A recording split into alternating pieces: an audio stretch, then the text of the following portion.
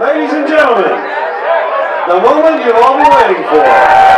Your 2015 Needle Dik.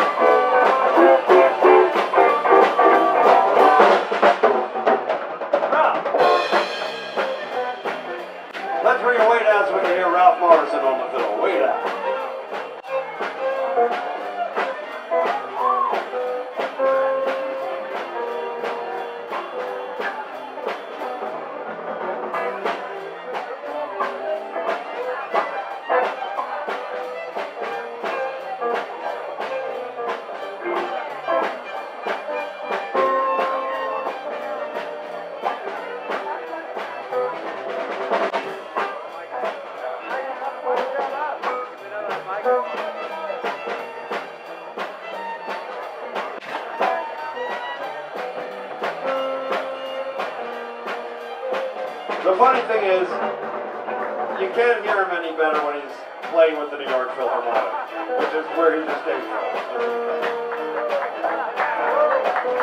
But there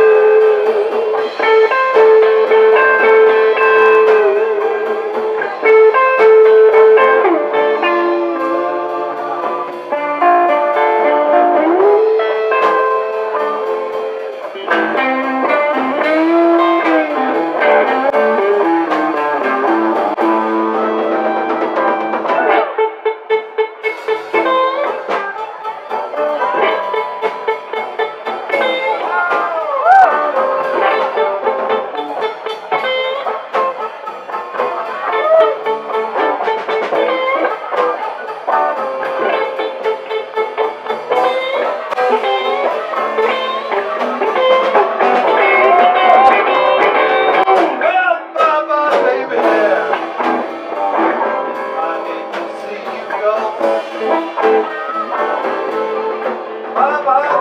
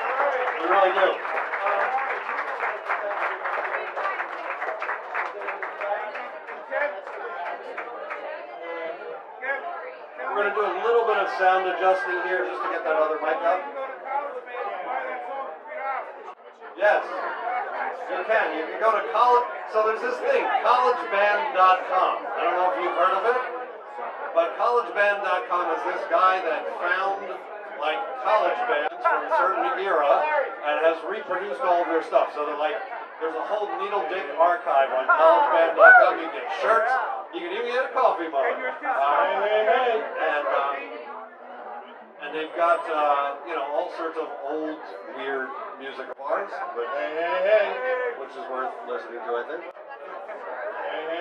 Hey Melton, can you bring this one down a little bit? It's just a little, little, little sizzly.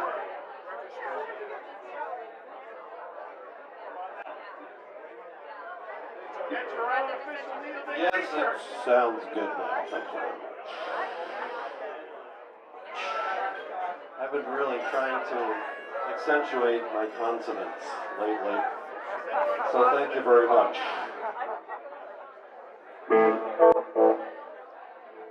Oh, the cops are here again, just like at River Hall.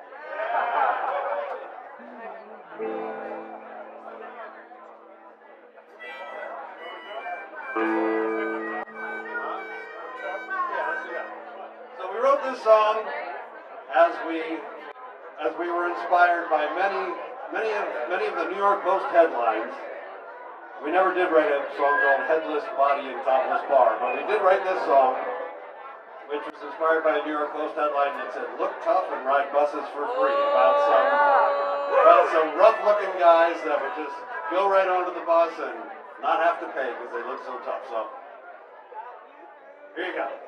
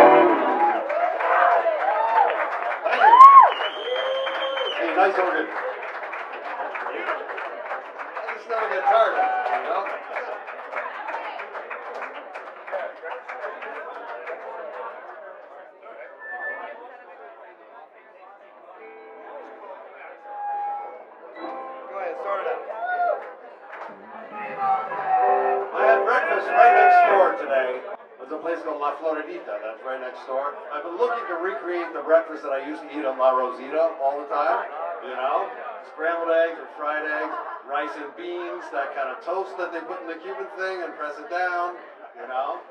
Um, cafe con leche. Cafe con leche. And they have it all right next door. So, what they don't have is the hidden message in this song. all right, start it up, fellas. I got a tune up. Go ahead.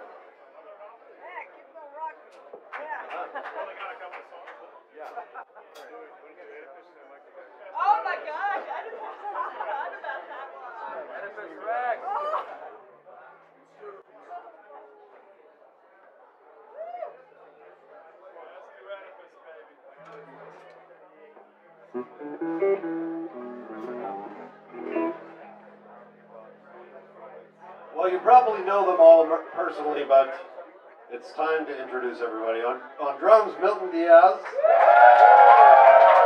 On bass, Marshall St. Clair. Barbecue Bob on the harmonica.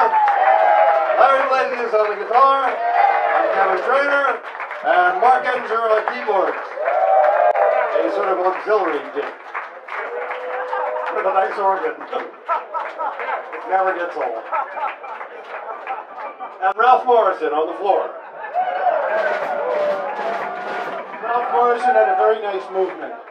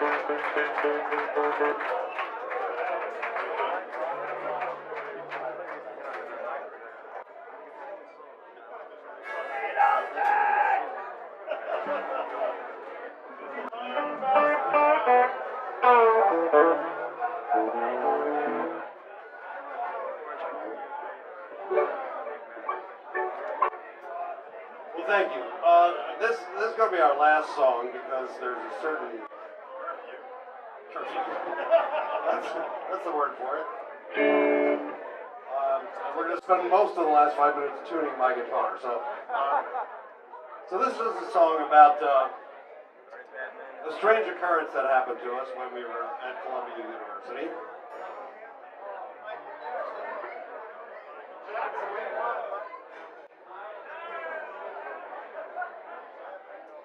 So guys we knew ran into this fella hitchhiking, and he got in a van with them. He was a personable, kind of charming type of fella. Make a perfect cult leader for sure. Um, and um, so, being the young, impressionable, kind-hearted college students we were, we're like, hey, we go to Columbia University. You should come down and hang out with us. So sure enough, he did, and turned out to not be as um, personable as we thought he was. And the funny thing was, the guy's name was Michael Jackson. No relation to the other Michael Jackson. That's what he said he was. That's what he said he What other Michael Jackson? Yeah, yeah, that guy. Um, He's so been- anyway, He's been diagnosed as a prosocial psychopath.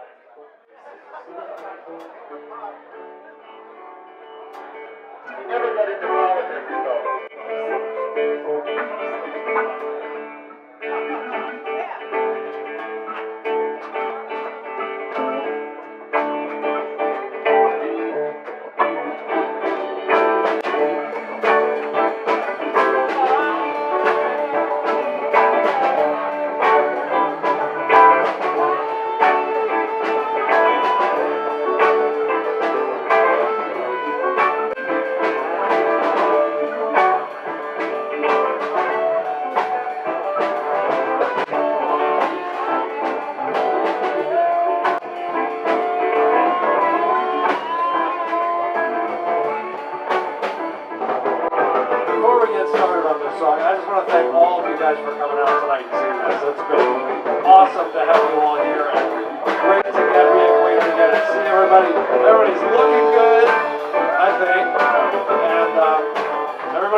So that's that's really good. And uh, I don't know, I'm just so I'm so tickled to see all of you again and to have you come and see us. So thank you very much. Give yourselves a big hand for coming out tonight.